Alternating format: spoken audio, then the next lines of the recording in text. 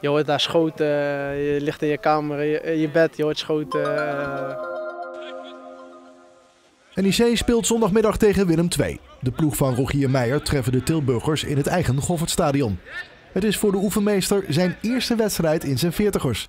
Want de trainer was afgelopen week jarig. Rogier Meijer, allereerst van harte gefeliciteerd. Ja, ik ben nu op een leeftijd dat je dat niet zo vaak meer moet zeggen. Dus, uh, Durf je te zeggen hoe oud je bent geworden? Ja, zeker. 40. Hoe heb je het gevierd?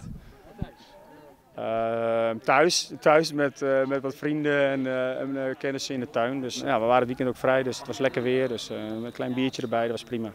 Ook Soufiane El Karawani had wat te vieren. De linksback mocht voor het eerst mee met het nationale elftal van Marokko. Ja, mooie ervaring, nieuwe omgeving. En ik denk dat ik daar veel, veel heb kunnen leren en nieuwe dingen heb kunnen meemaken in, in het betaald voetbal.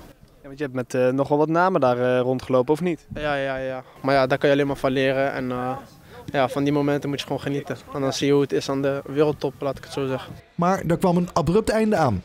De ploeg zat in Guinea toen daar een staatsgreep plaatsvond. Ja, daar is het een beetje gevaarlijk geworden. Voor ons was het relatief rustig. Ja, wat moet ik zeggen? Je hoort daar schoten, je ligt in je kamer, in je bed, je hoort schoten. daarna moesten we snel weg zijn we met z'n allen in de bus gegaan, begeleid door militairen, zijn we weggegaan. Zijn we naar het vliegveld gegaan, vliegtuig in en uh, snel naar Marokko en daar gewoon lekker weer rustig. Doelman Matthijs Brandenhorst keepte voordat hij naar NEC kwam voor Willem II. Hij denkt daar met goede herinneringen aan terug.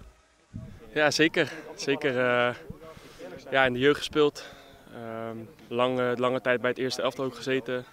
kwartfinale beker is nog wel een moment waar ik aan terugdenk, waar ik de beslissende penalty pak. Dus dat zijn, dat zijn wel leuke momenten om, om het terug te denken. Ja. En het lijkt er ook op dat iedereen weer fit is bij NEC. Ja, we missen dan uh, de lang geblesseerden nog, hè, Matthias, Rens en uh, nou, Pedro doet gedeeltes mee. En vandaag hadden we wat meer uh, grote partijen, nou, daar zit hij nog niet in. Maar dat komt er wel aan, dus iedereen is fit, teruggekomen van een interlandbreak en ja, iedereen heeft volgens mij heel veel zin in. Want ik zag ook Barretto op het veld lopen. ja, wij, melden wij hadden nog gemeld dat hij een tijdje eruit lag, maar die is gewoon weer terug. Wat is met hem gebeurd? Ja, dat weet ik niet. Ik weet niet of hij precies het weekend heeft gedaan. Nee, maar hij was eigenlijk eind van vorige week al uh, op de goede weg. En uh, ja, het was gewoon niet zo ernstig als uh, misschien van tevoren ingeschat werd. maar hij is fit en dat is wel heel prettig. Willem II lijkt een directe concurrent te zijn voor NEC. Geeft dat extra spanning voor de wedstrijd?